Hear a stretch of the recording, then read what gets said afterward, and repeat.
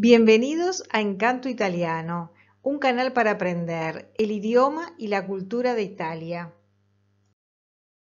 En esta lección nos vamos a centrar en la formación del plural para palabras de género masculino. Veremos ejemplos de la regla general y las excepciones más importantes. En la lección anterior vimos la formación del plural para palabras de género femenino. Les voy a dejar el link por acá arriba y en la descripción para quien quiera repasar o para quien no lo haya visto. Comencemos recordando que las palabras de género femenino son generalmente las que terminan en A. Y las palabras de género masculino son generalmente las que terminan en O. Para formar el plural de las palabras de género femenino, cambiaremos la A por la E. Y para formar el plural de las palabras de género masculino, cambiaremos la O por la I. Esta es una regla genérica, que lógicamente tiene muchas excepciones, pero la podemos tomar como una regla de base. Género femenino terminan en A y cambian por E, y palabras de género masculino finalizan en O y cambian por I. Nos concentramos ahora en la formación del plural para palabras de género masculino. Veamos ejemplos de la regla general y las excepciones más importantes. Ejemplos de la regla general son palabras como il giorno, el día, i giorni, il libro, el libro, i libri. Il gatto, il gatto. I gatti. L'anno, el año. Gli anni. Il ragazzo, el muchacho. I ragazzi. Pero también hay palabras de género masculino que finalizan en E o que finalizan en A. Y estas palabras siguen la regla general de formar el plural con la letra I. Veamos algunos ejemplos. Il cane, el perro. I cani. Il mare, el mar. I mari. Il poeta, el poeta. I poeti. Il padre, el padre.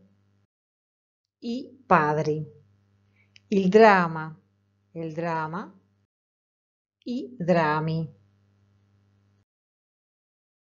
Podemos entonces ampliar la regla general que vimos al principio e indicar que toda palabra de género masculino que finalice en A, E, O forma el plural con la letra I. Por supuesto que hay excepciones y ya las iremos viendo.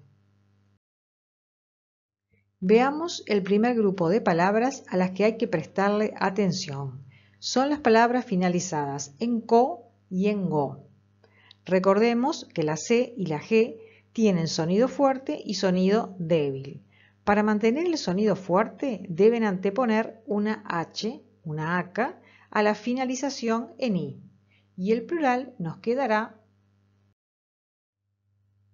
qui e gui. Veamos ejemplos. Il parco, el parque. I parchi. Il fuoco, el fuego. I fuochi. Il truco, el maquillaje. I trucchi. Il lago, el lago.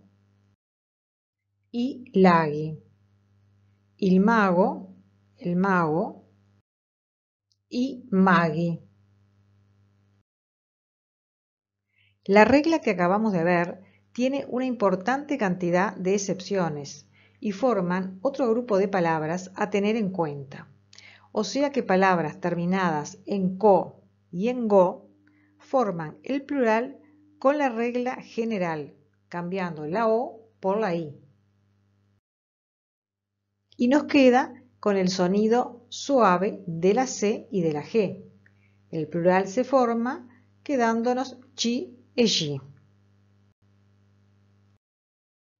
Son palabras que debemos estudiar y memorizar. Por ejemplo, l'amico, el amigo, gli amici, il portico, el pórtico, i portici, il medico, el médico, i medici, l'asparago, el espárrago, gli asparagi, il teólogo, el teólogo, y teology.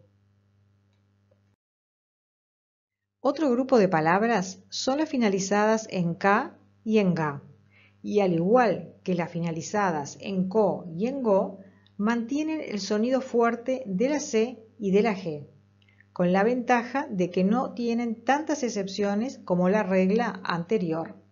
Y el plural nos queda ki, egi, sonido fuerte de la C y de la G.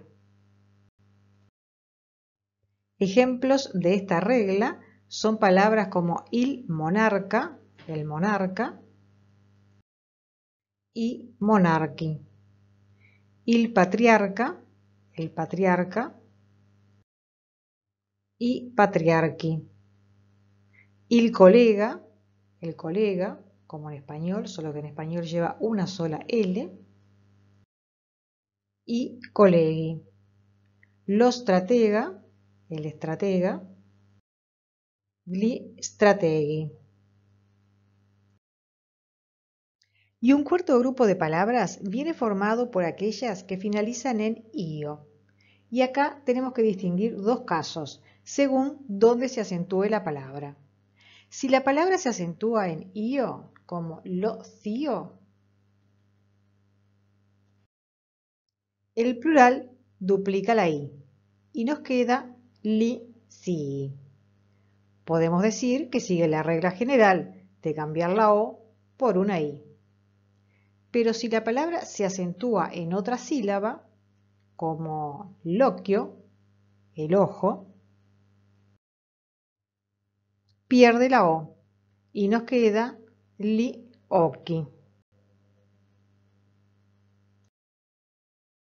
Veamos ahora los grupos de palabras que permanecen invariables cuando pasamos del singular al plural.